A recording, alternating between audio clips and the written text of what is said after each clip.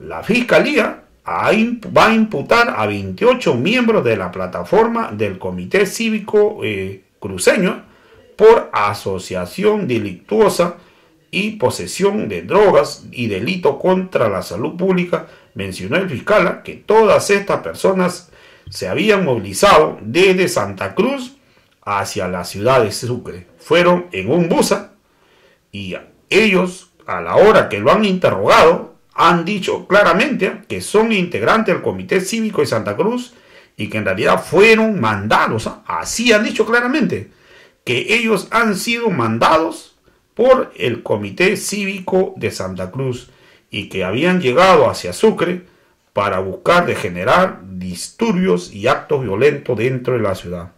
Aunque ha salido Rómulo Calvo, el presidente del Comité Cívico de Santa Cruz, a decir que no los conoce, a decir que nada tiene que ver con ellos, pero ellos ya han dicho claramente, y no es uno, hay más de uno que ha declarado, ha dicho claramente y lo ha echado, que es el Comité Cívico de Santa Cruz quien le ha financiado todo y que ha ido justamente para generar caos y disturbio en Sucre. Vamos a escuchar las declaraciones que dio el fiscal respecto a estos 28 angelitos de eh, que fueron detenidos en la ciudad de Sucre.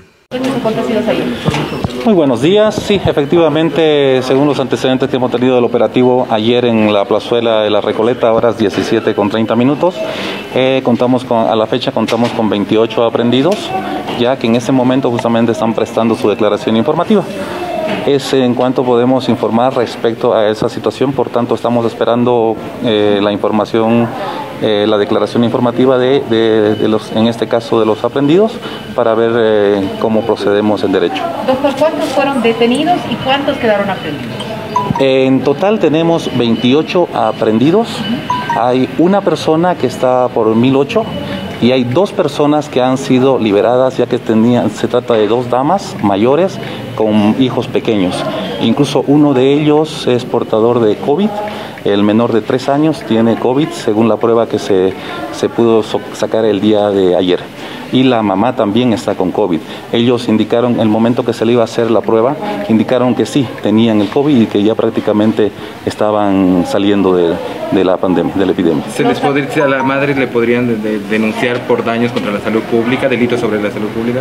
Justamente por tratarse de un menor de edad y resguardando, y el Ministerio Público respetuoso de los derechos constitucionales, tanto de las mujeres como de los, de los menores, de los niños, es que se ha tomado eh, la decisión de poder liberar a estas personas sin ningún cargo al respecto. Ayer decía que los aprendidos, los detenidos, perdón compañero, eran de Santa Cruz y Oruro. ¿Continúan en ese mismo o solamente son de Santa Cruz o cómo? Claro, según las investigaciones preliminares, todas las personas que estaban en la plazuela, en el micro, eran 31 personas, todos eran procedentes de la ciudad de Santa Cruz.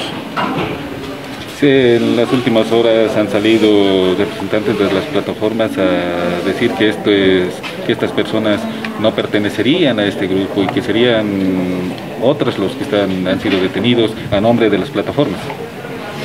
Eh, mire, como le decía, según, según las informaciones preliminares, eh, tenemos eh, que sí, son procedentes de la ciudad de Santa Cruz por las investigaciones y preguntas que se les ha realizado el día de ayer a todas las personas que se encontraban en el micro son de la ciudad de Santa Cruz y venían con el propósito de, que, de, crear disturbios en, esta ciudad de Sucre y prácticamente direccionados por el Comité Cívico, que incluso fue una de las damas que indicó esta situación. ¿Me entienden? En ese sentido, nosotros no somos irresponsables para aplicar una información que no sea, que no venga de una fuente, en este caso, de las personas que se encuentran aprendidas en este momento. Doctor, ¿esta aceleración ha sido eh, corroborada con, otro, con otras personas que, que han prestado su declaración informativa? No, en este momento se está eh, procediendo a la toma de declaración informativa.